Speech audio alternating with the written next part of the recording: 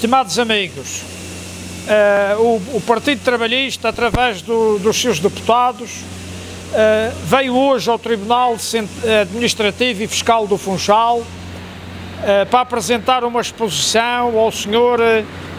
Procurador da República junto deste Tribunal. E prende-se com uma grande ilegalidade que é cometida por dois secretários regionais do PPD um deles é o Sr. Ventura Garcês, secretário regional das Finanças e do Plano. O outro é o Sr. Manuel António, secretário eh, da Agricultura e Recursos Naturais. Esses senhores eh, já estão pensando em acautelar o seu futuro quando saírem do governo.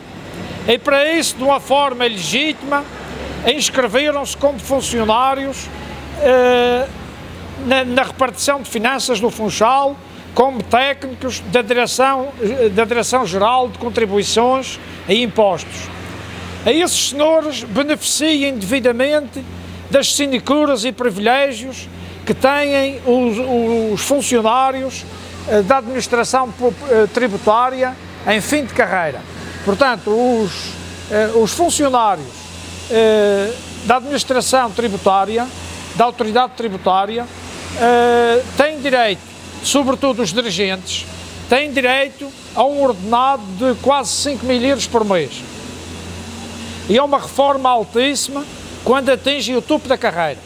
E então o senhor eh, Ventura Garcês e o senhor Manuel António uh, e alguns uh, chefes de gabinete uh, das secretarias inscreveram-se no tribunal, inscreveram-se na, nas finanças na carreira de técnicos das finanças eh, no escalão mais alto, sem nunca terem cobrado impostos, sem nunca terem feito carreira eh, na, na autoridade tributária.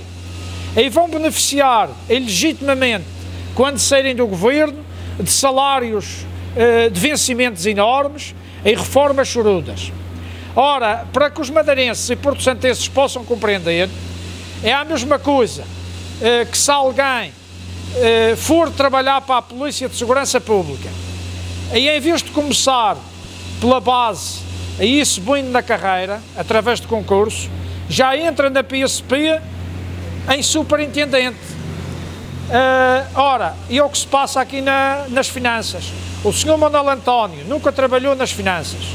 O senhor Ventura Garcês também não.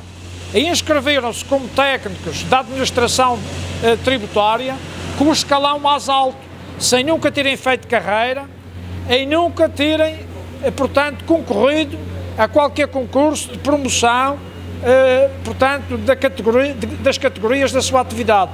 Isto é uma ilegalidade, um oportunismo, e para que estes senhores ficassem no topo da carreira, alguns altos funcionários da administração fiscal ficaram, deixaram de ser promovidos.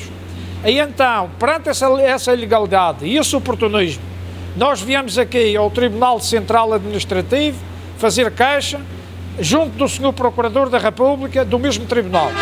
Nós não acreditamos na Justiça, não acreditamos no Sr. Procurador, nem nos juízes que lá estão.